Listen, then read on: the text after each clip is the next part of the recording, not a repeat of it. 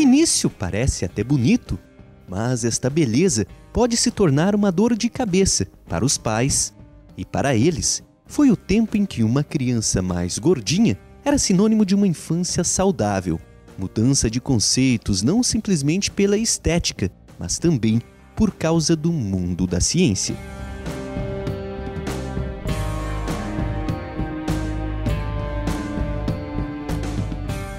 Dados da Organização Mundial da Saúde apontam que, a continuar com as tendências atuais, em 2015 haverá em todo o planeta aproximadamente 2,3 bilhões de adultos com sobrepeso e mais de 700 milhões de obesos.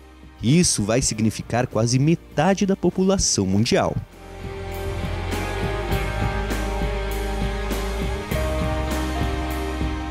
Já no Brasil, as estatísticas apontam que a obesidade infantil é a que mais cresce, e o cenário, agravado por mudanças nos hábitos alimentares, ampla oferta de produtos hipercalóricos e menos atividade física, preocupa autoridades.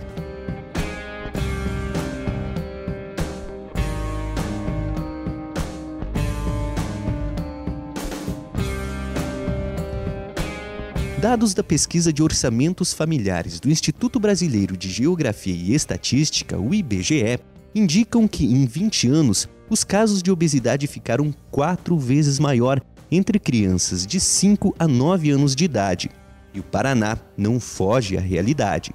Além de ser uma das causas para o bullying, o sobrepeso e a obesidade em crianças, adolescentes e jovens se tornou uma importante preocupação na área de saúde pública em todo o planeta.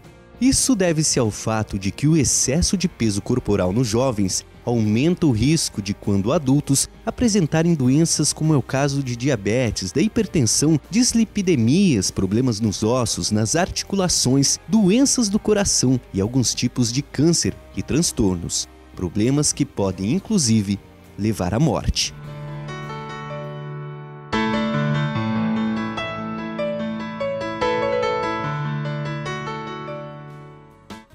Preocupação principalmente para os pais.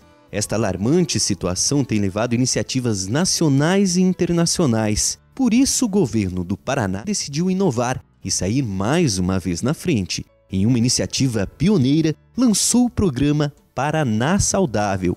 O objetivo foi verificar a situação atual de nossas crianças, adolescentes e jovens das escolas paranaenses a consequência desta iniciativa, em 2012, iniciou o levantamento em todo o estado envolvendo alunos de escolas do Paraná e até mesmo os familiares dos alunos, uma união das secretarias de Estado do Esporte, Turismo, da Educação e da Saúde. Os dados de nossa população em idade escolar vão ser encaminhados a profissionais como nutricionistas, psicólogos, médicos, professores de educação física, entre outros da equipe multidisciplinar depois disso, começa a fase de prevenção e controle da obesidade. O principal objetivo é implantar ações encaminhadas a promover hábitos alimentares e de prática de atividade física e exercícios saudáveis como principal estratégia de prevenção.